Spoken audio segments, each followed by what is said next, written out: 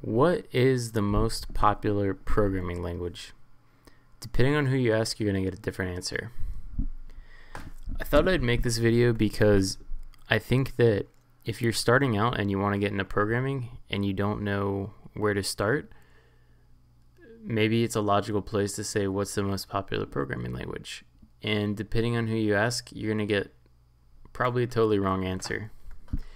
So the first one I want to talk about is TIOBE they supposedly build this list based on search traffic. Um, so they're saying they're using Google, Bing, Yahoo, Wikipedia, Amazon, YouTube, and Baidu.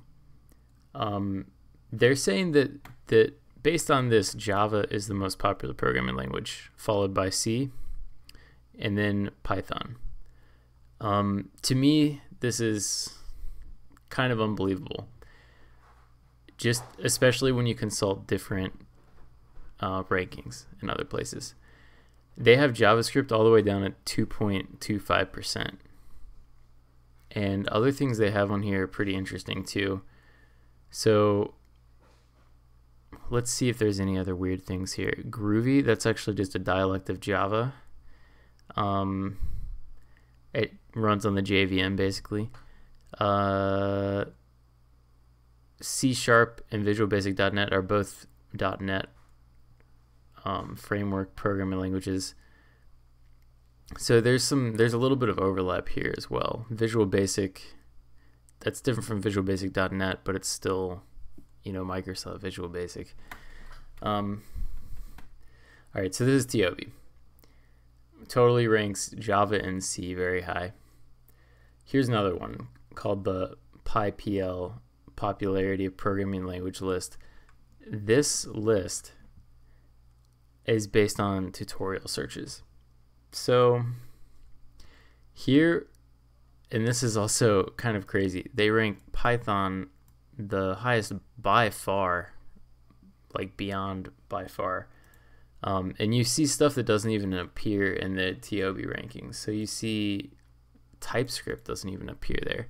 TypeScript is based on JavaScript. It, ju- it just compiles down to JavaScript, just kind of like the way Babel um, compiles React or any other kind of thing that uses JavaScript into into stuff that'll actually run in a browser. More like the new ECMAScript standards and things that aren't supported by all browsers. Um, that's the kind of stuff like the way TypeScript is built. So here they've got JavaScript third C doesn't even appear on this list.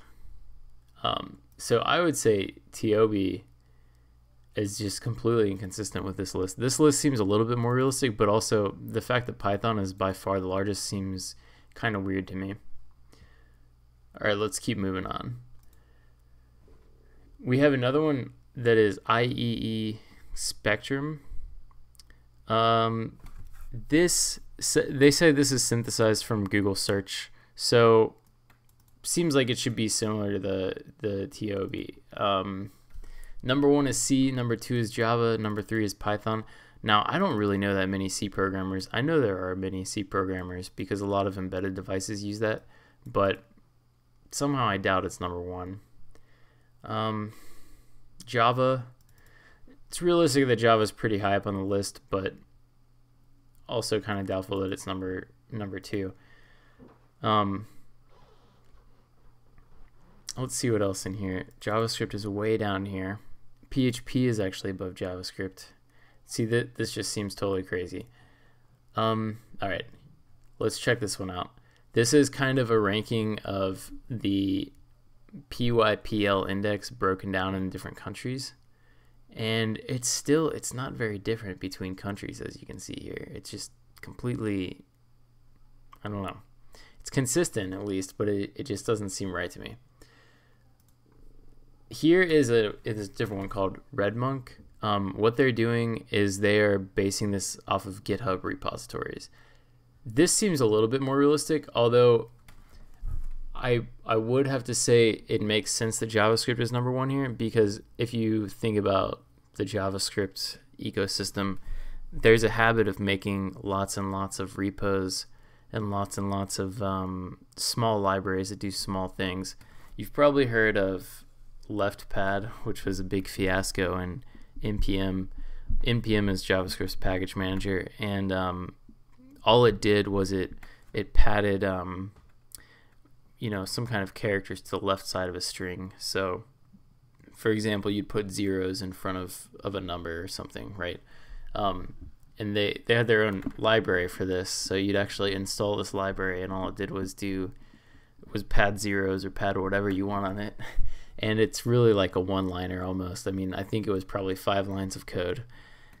And somebody removed it from the npm repository one day and it broke like thousands of projects. So JavaScript has this tendency to have lots and lots of small libraries that are interlinked and intermingled. Um, but so it's not surprising that's number one. Java, Python, PHP. So this is where it starts to diverge, right? Like you have these traditional ones where you've got Java, Python, and C. And then if you look at this, C is not anywhere near the top, whereas JavaScript is not near the top. This seems a lot more realistic just based on what you see in terms of job searches. Like if you try to find C jobs and you look on your, um, you know, Indeed or whatever, LinkedIn or something, um, Dice, you're not going to find many. You're going to find tons of JavaScript jobs, tons of Java jobs. So like the fact that they're ranking this number two, it just doesn't make a lot of sense. Same with Python. There actually aren't a lot of Python jobs, or there never used to be. There's a few more now. Um, back when I first started programming, I almost exclusively tried to do Python, and I could never find a job doing Python, so I just ended up doing Java and JavaScript. So this one more realistic because this is what people are actually using, not what they're searching on. Now, searching could indicate it, could be because of school, you know, it could be totally different stuff. So same with um, tutorials, right? Like maybe people are searching for Python tutorials so much because there are a lot of Python courses or Python classes they're taking in school. So that's probably not realistic compared to what's actually being used out in the real world in the industry not what people are really building things in.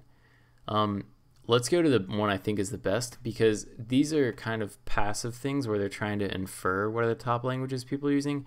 Let's go to the Stack Overflow survey because this is totally different. This is people actually telling them what they use the most.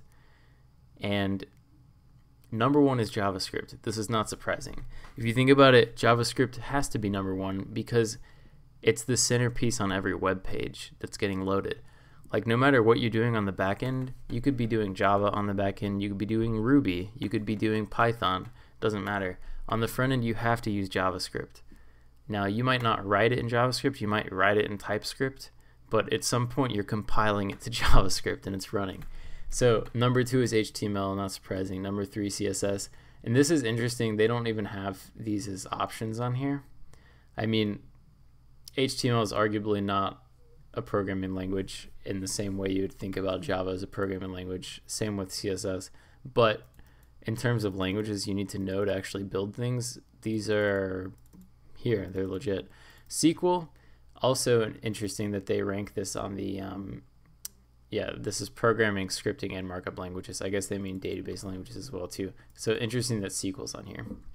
I think this PyPL one had another had a top 10 database rank.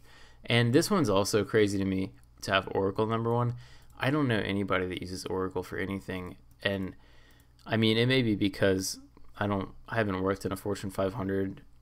Well, I guess I do work for a Fortune 500 now, but um, I haven't worked um, maybe on the legacy side of a Fortune 500 for a very long time. And um, I don't see anybody using Oracle. I haven't, I don't think I've worked with anybody using Oracle in a very long time. MySQL is pretty popular still. SQL Server seems somewhat popular. Postgres seems very popular. Mongo still seems popular. The Oracle just seems unbelievable to me. Um, let's go back. Let's go back. Stack Overflow. So Java, Bash, Shell. That's yeah, that's probably more realistic too. Like I, that's kind of interesting. You don't see Bash on here. Um, almost everybody's writing bash scripts all the time. I mean, even if you're primarily programming in JavaScript, you've probably got bash scripts in your build system.